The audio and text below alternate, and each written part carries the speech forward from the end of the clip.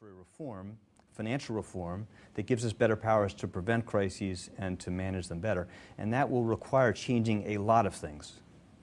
Uh, another question or another institution that's very much on the mind of the Digg community is Goldman Sachs. Uh, Larry JR88 asks, this is the second question with 728 digs. He asks, uh, Goldman Sachs is a large profit-seeking company which you were are a part of. Isn't it a conflict of interest to funnel tax dollars into this private company using your new position as Secretary of the Treasury, keeping in mind that you and your old buddies benefit monetarily? Uh, maybe I'm mistaken, but isn't this a test, textbook example of political corruption?